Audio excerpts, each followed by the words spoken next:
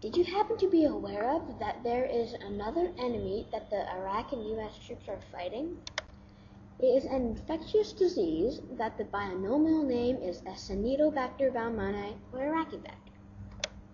Acinetobacter baumannii was found by a German scientist named Franz Wilhelmi in 1835. But throughout the years, there haven't been many breakouts.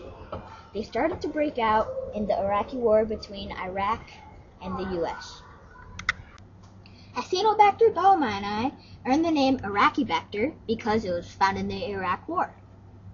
But this disease was later spread into the United States because of soldiers coming back diseased with this. Since they mainly affect US and Iraqi troops, in 2005 there were 6,000 troops diseased in that war by Iraqibacter, so the sides have been losing many soldiers because of it.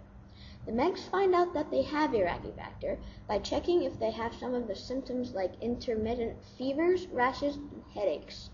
Those symptoms then lead to infections like pneumonia and bacteremia. Iraqibacter has been spread in many different ways.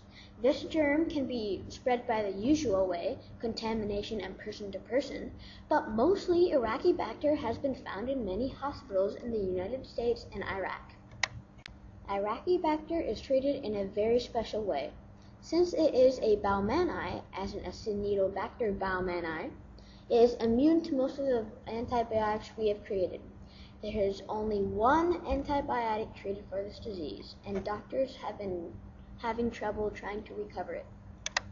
There's a reason why Iraqibacter has been affecting mostly the US and Iraqi troops. Their wounds let many diseases in, and Iraqibacter is one of them. They have brought it back to their homeland, affecting other citizens with this disease. Thank you for watching my presentation on Iraqibacter. I hope that you have learned a lot.